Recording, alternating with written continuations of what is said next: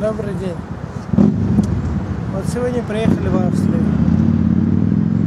Сейчас там площадь, площадь называется имени Марии Терезы.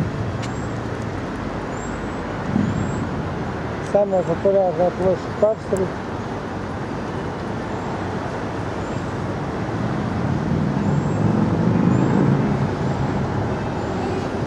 Конечно, красиво очень. Видно, полностью она заполнена туристами. Ну, у нас сейчас другая альтернативная программа. Мы сейчас идем найти, где взять пиво. И главное, австрийский, как он там называется, шницель? Шницель. Австрийский шницель, это прямо вот, вот прямо.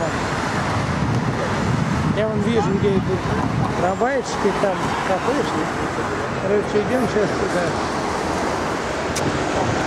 Погода выдалась на славу. Великолепно. Австрийские девочки.